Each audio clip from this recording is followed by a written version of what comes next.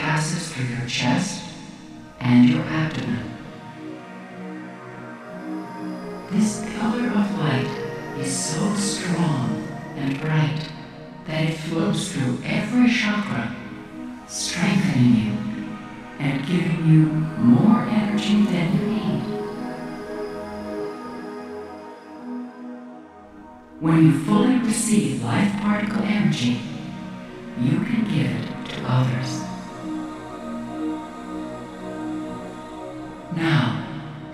clearly in your mind again the outcome